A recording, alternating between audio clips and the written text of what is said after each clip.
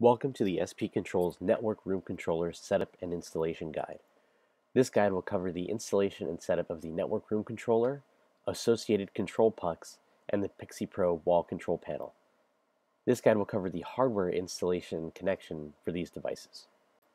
In this example, we have an NRC1142, a PX2MP-IR or Pixie Pro, and the PX2 PUC232-IR or a standard 232-IR control puck.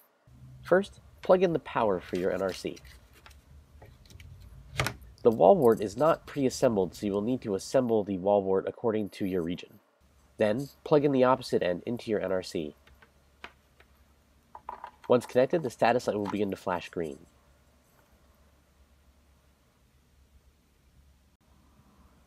Plug one Cat5 jack into the NRC's Ethernet port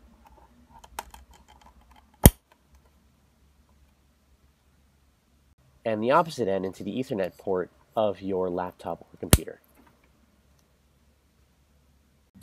Remove the front faceplate from the Pixie Pro using the four flathead screws.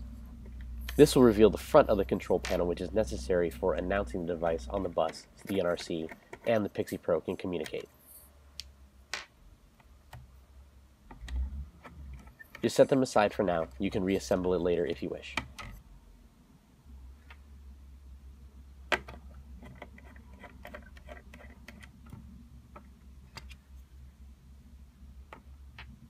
Just remove the front faceplate and set it aside.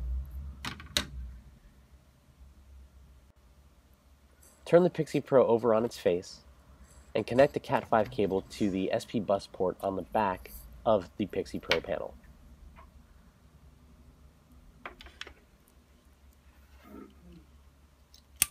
Once inserted, connect the opposite end to one of the SP bus ports on the back of the NRC. When connected, the orange light underneath the SP bus port will be solid. We must announce the Pixie Pro so the NRC can speak to it. Hold down one of the front source buttons with your thumb, and while holding it down, insert a paperclip in the bottom right aperture where it says Insert Paperclip to Learn. The red light will come on, and the panel will spring to life. Remove your thumb from the source button and remove the paperclip. Connect the Cat5 jack to one of the SP bus ports on the puck, and then connect the Cat5 cable to the other SP bus port on the back of the NRC.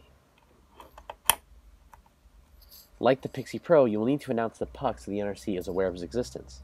To the right of the Phoenix connector on the front of the puck, you will see a small recessed hole. Insert a paperclip in this hole to announce the puck. You will see the light flash orange once per second. When the devices are all announced properly, all SP bus status lights will flash in unison.